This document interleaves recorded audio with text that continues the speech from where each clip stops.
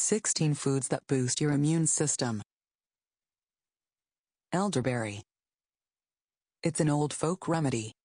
This fruit is loaded with nutrients called antioxidants, and it may help fight inflammation.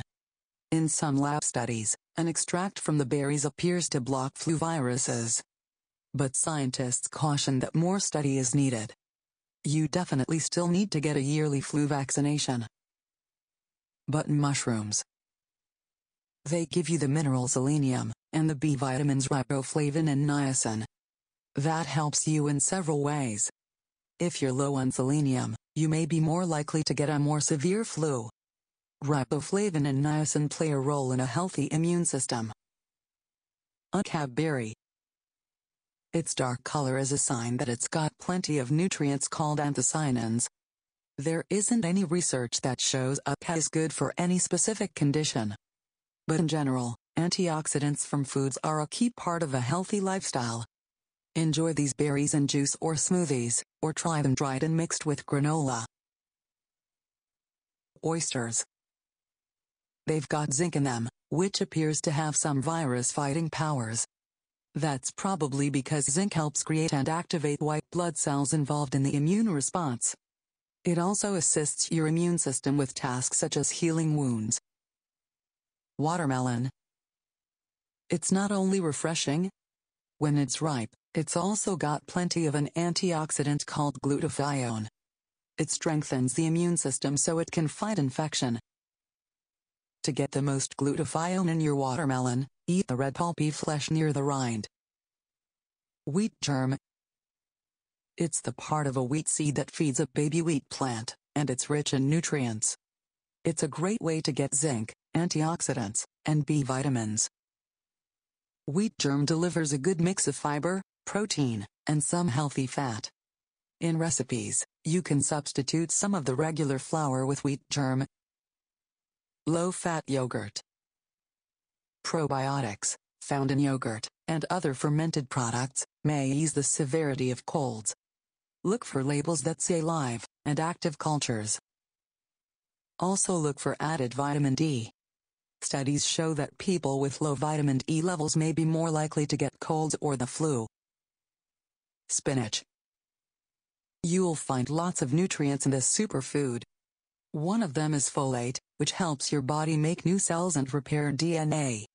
It also boasts fiber, antioxidants such as vitamin C, and more. Eat spinach raw or lightly cooked to get the most benefit. Tea.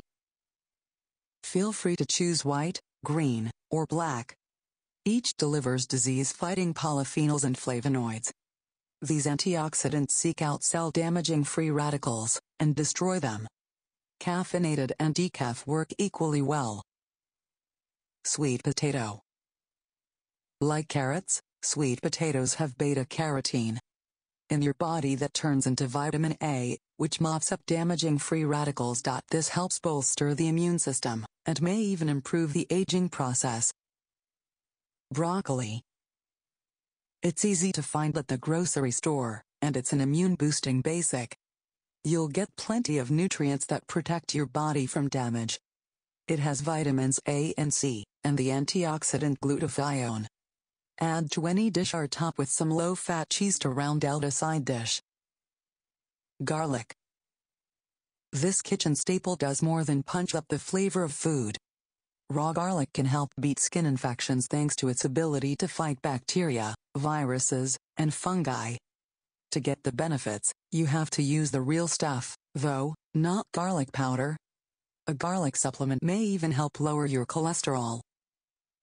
Miso. This traditional Japanese seasoning, made of fermented soybeans, usually comes as a salty paste. You've probably had it in a soup, but you can also add it to sauces.